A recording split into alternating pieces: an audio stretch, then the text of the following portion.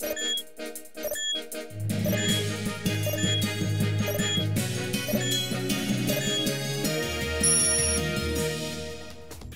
Son 18 los empresarios egresados en este año del programa Incusoft, que se encarga desde 2005 del adiestramiento e impulso a proyectos de innovación tecnológica para brindarles oportunidades reales de competitividad laboral. Aspiramos a que haya innovación, innovación tecnológica que nos permita un desarrollo económico sustentable y un crecimiento social también con mucha capacidad productiva. Los 18 egresados facturan anualmente ganancias aproximadas a los 60 millones de pesos. Jalisco se convierte en el estado líder en el desarrollo de tecnologías de información y comunicaciones.